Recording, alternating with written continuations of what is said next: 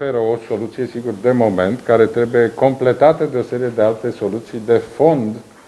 pentru a reduce facturile. Aceste soluții de fond înseamnă continuarea investițiilor în noi capacități de producție de energie electrică, continuarea și chiar accelerarea investițiilor de extragere a resurselor proprii de gaz natural, completarea depozitelor subterane pe care le deține România pentru a asigura necesarul de gaz pe perioada iernii, pentru că la ora actuală ele nu sunt completate, deși în mod normal ar fi trebuit să existe o preocupare în acest uh, sens. S-a aprobat un amendament în care s-a dublat practic uh, suma pentru cei care se încălzesc cu lemn, care reprezintă un procent uh, important din populația României.